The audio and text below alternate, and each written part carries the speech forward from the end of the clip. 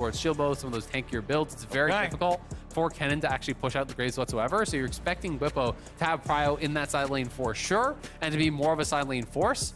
Uh, this one's more Here of like come. a Hans, Bjerg, okay. Core and Hans are leaving. But Here Bjerg. comes Bjergsen, okay. Oh no, where are you gonna go? Oh no, Ahri, don't walk into Oh that. Ahri, no! First blood over to Evil Genius. too if it breaks out, and I just think that's smart positioning from JoJo. Okay, well, Inspired's They're coming looking to around. They might just dive Bjergsen here. Jojo tanks the turret as long as he can. One more hit's what they need. It'll be one for one. But The fear comes through. Flash on the end of the tether to try to create space, but the flash follow is there and they get the kill, but now it's realm warp to bot. Here we go. Core JJ and Han Sama trying to get out. It's Flash from both Team Liquid subs. bottom laners. It's the cleanse from Hans as well. Wow.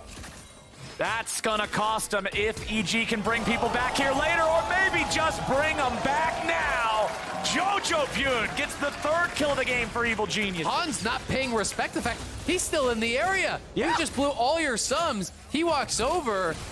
Oh boy, but now Vulcan's not paying respect to the fact that both teams have a jungler. we don't get to participate much in the overall flow of the game until those teleports become unlocked. Oh, they're gonna go. But that's gonna be a big thing now. I was Oh. just about to say that. And Bjergsen got a plate mid, so very nicely done. Jojo will lose that farm. Inspired will be able to pick it up, which is nice. And he has a very early stride breaker, so I think is, is anywhere close to like a game one uh, where you, you felt like it was a guaranteed advantage, but they're going in. Alrighty, here's your dive. A lot of damage coming through, and Han Sama's already gone. Now they're gonna swap the turret, add the two in the kills.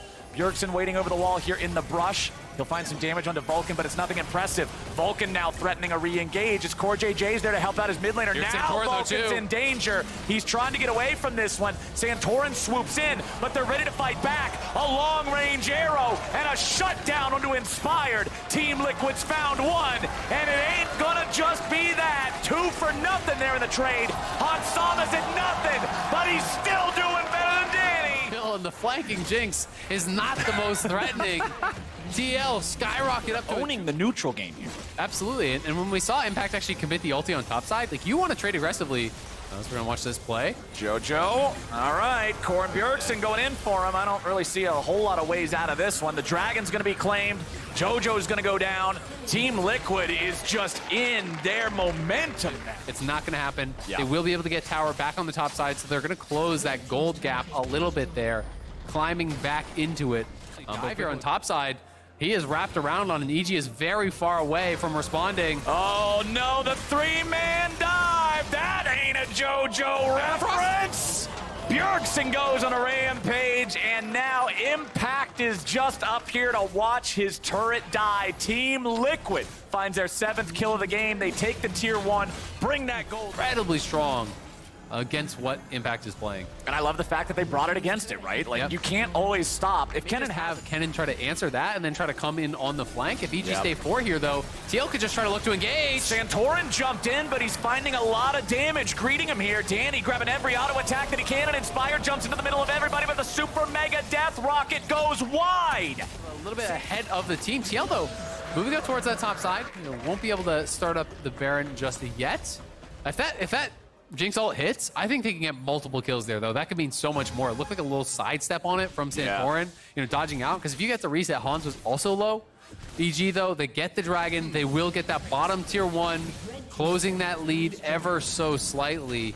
And Everything's about the damage. You've got to make sure that when you go in, everybody melts inside your ulti. Bwipo's going to get caught out here. He's flanked. inside the Evil Genius's jungle, and he's all alone in a 1v4. There's no Baron. way out.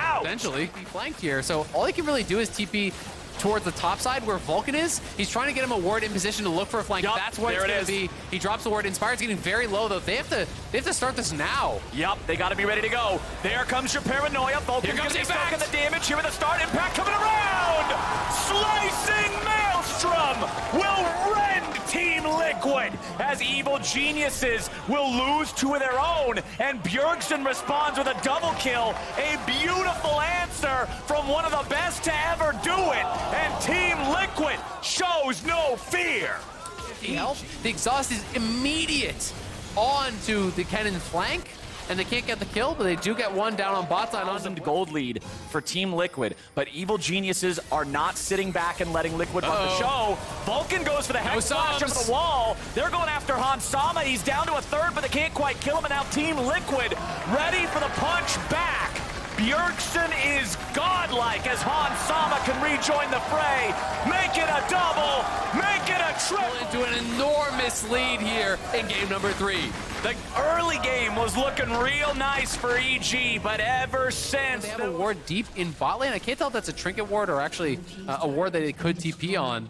Um, but for now, he's just going to trade tier 2 top, get a little bit more gold. And he's likely trying to work towards that death cap. And they are okay. going for the deep TP flank, so that ward was available, but it's a counter TP. Yup. They're all going to turn for the Kennen. The teleports are ready to go. Impact just slicing Maelstrom onto his opponent only. Bjergsen staying alive with the stasis. He's trying to deal with Impact, but now the rest of EG are trying to go in. Jojo's going to be taken low as Bjergsen takes Impact out of the picture. Jojo about to die next. Inspired's about to fall. Hans Sama's been traded, but he's the only